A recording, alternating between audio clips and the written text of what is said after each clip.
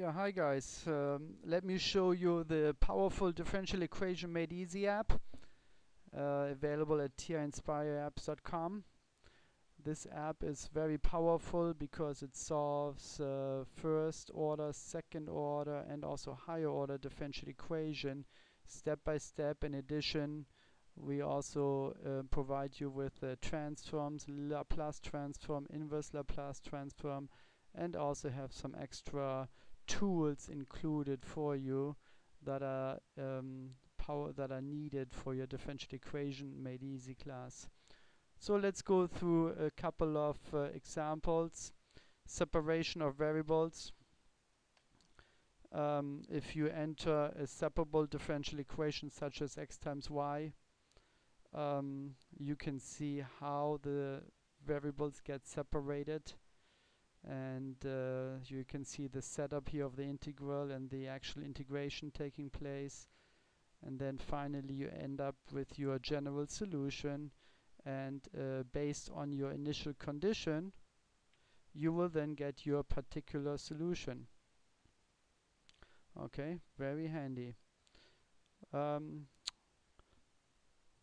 for sorry first order differential equation say you're given an exact differential equation okay? So this is um, y dx y that's your first input plus x dy um, is equal to 0 well it turns out that that differential equation is exact since their partial derivatives match. And then you can see the steps here 1, 2 and 3 uh, the steps are performed here for you. And uh, we arrive at the general solution x times y is equal to c. Now again using your initial condition say we have 1 8 your particular solution turns out to be then x times y is equal to 8 because remember we got x times y is equal to c as our general solution. So this is for exact and of course you can also non-exact differential equations and uh, you get your integrating factor in order to make them exact. All of this uh, done step by step. Logistic differential equation, Bernoulli and of course we also have uh, numerical methods included for your Euler method, Runge-Kutta, uh, for midpoint. Okay, so let me show you an example here your this is how you have to enter it differential equation step size and the number of steps. So say we're gonna use five steps instead of four. Sta starting point is 0 1 and um, so Euler method is here laid out for you the method the starting point 0 1 and then since our step size is 0.1 you can see that the axis always increased by 0.1 and on the right you see the new y coordinates that you get as you perform the Euler method. And this would be your final y coordinate using five steps. If you only use four steps you get your immediate correct answer. Okay let's look at some second order differential equations. You can always solve any second order differential equation quickly without steps but if you desire steps let's say you have a homogeneous uh, second order differential equation you just enter that equation here and down here are your initial conditions and uh, to scroll uh, to see the answer you scroll up uh, to see that the characteristic equation based on this differential equation is this and you solve that characteristic equation you get your zeros you plug in your zeros 1 and 2 into your general solution and here we go.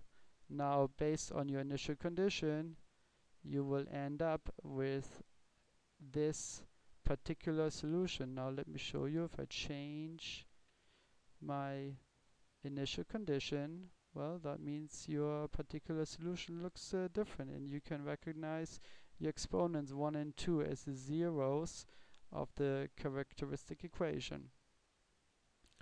and of course you can find uh, undetermined coefficients uh, variation of parameter everything done for you step by step. Cauchy Euler Bessel Le Legrand Legendre um, differential equation.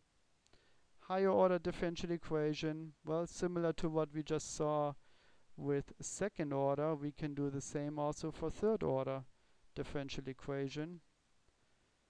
Um, here in this particular differential equation we actually have the same zero repeated three times which yields this homogeneous solution. Here are our initial condition. Now we have one more input because we have the in order is one higher than before.